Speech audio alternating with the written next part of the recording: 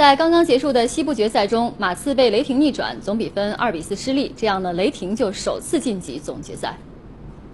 连输三场，马刺被逼入绝境。今天比赛一开始，马刺三巨头便早早开进了马力。虽然年轻的雷霆领袖维斯布鲁克上演了如此力道十足的战斧式暴扣，引爆全场，但和他对位的法国跑车帕克却显得很冷静。他不声不响地用自己的方式给予威少补力，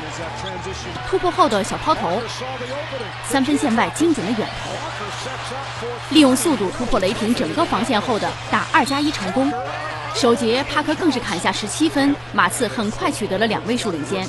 而半场帕克还贡献了十次助攻，在他的带动下，马刺的射手群上半场三分球便十五投九中，其中杰克逊四投四中，命中率百分之百。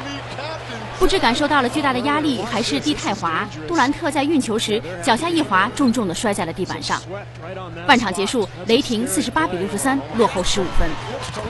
第三节，雷霆再次展现出了前三场的攻防两面的侵略性，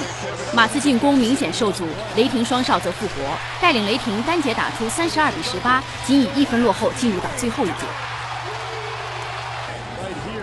第四节，双方打得也很焦灼，威斯布鲁克也在比赛中滑倒。此时，一位老将扭转了场上均衡的形势，他就是老于费舍尔。冷静的三分和中投让雷霆在最后时刻拉开了比分。比赛还没有结束，杜兰特就已经抑制不住兴奋的心情，和在场边的妈妈拥抱庆祝了。最终，一百零七比九十九，雷霆战胜了马刺，总比分四比二，首次晋级美职篮总决赛。